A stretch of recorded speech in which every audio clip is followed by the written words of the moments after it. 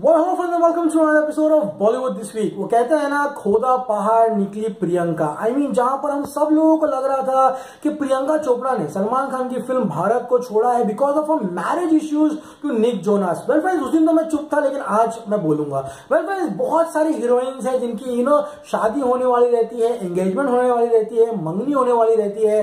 लेकिन एक बॉलीवुड कमिटमेंट को यू you नो know, छोड़ देना just because of the marriage and the engagement is not cool ये एक अनप्रोफेशनल प्रोफेशनलिज्म की बहुत बड़ी सीमा है, जो कि प्रियंका चोपड़ा ने पार कर ली है। और इसके लिए एटलीस्ट मेरे नोटबुक्स में तो कोई माफ़ी लिखी नहीं है। बहुत सारे फेमिनिस्ट है जो ये कह रहे हैं कि it's her life it's a choice बहुत सारे लोगों ने फ़िल्में छोड़ी है because of the you know issues which they are facing in life देखो बॉस ऐसी फ़िल्में जो कि फ्लोर पर चली गई है, उनको छोड़ने के बाद बहुत सारी प्रॉब्लम्स आती है। वो तो मैं शुक्रिया अदा करना चाहता हूँ कटरीना कैफ जी का, जो कि यू नो अली अब्बास ज़फ़र, सलमान भाई की इतनी अच्छी मित्र है, जिन्होंने लास्ट मोमेंट पे यू नो भारत जैसी एक बड़ी हाई प्रोजेक्ट फ़िल्म को साइन करने के लिए मान लिया उन लोगों ने। ये अली अब्बास ज़फ़र का काम है कि अब वो उनसे काम निकालते हैं नहीं, लेकिन यहाँ पर जो बातें प्रियंका चोपड़ा के सामने आई है, वो बहुत ही शर्मसार है, बहुत ही निंदनीय है। क्योंकि गाइस अगर ये बात सच है, जो कि ये है तो guys literally speaking this is very unprofessional well friends अभी अभी खबर आ रही है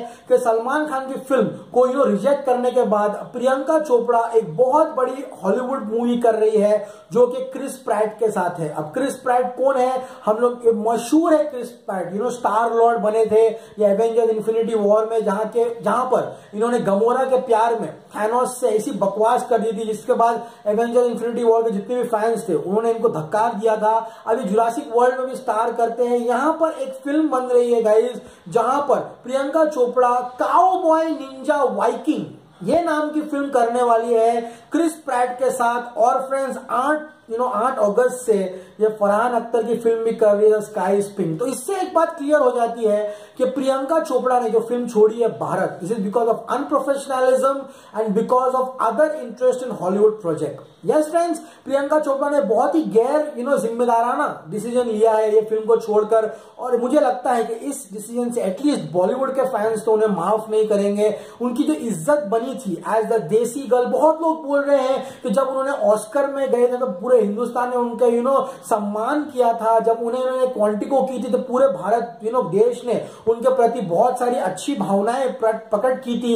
लेकिन गए सलमान खान की फ़िल्म छोड़ना, वो भी इस दौर पे, जहाँ पर वो फ़िल्म शुरू हो चुकी थी is unprofessionalism at is best ये तो मेरा ओपिनियन है। मुझे पता है सलमान खान के जितने भी फैंस है, वो मेरे बात से वाकिफ रखते हैं। Katrina Kaif all the best give your best shot girl you know जो लोग बोल रहे हैं कि आपको एक्टिंग नहीं आती है, अब एक्टिंग करके दिखाना। अली अब्बा ज़फ़र है।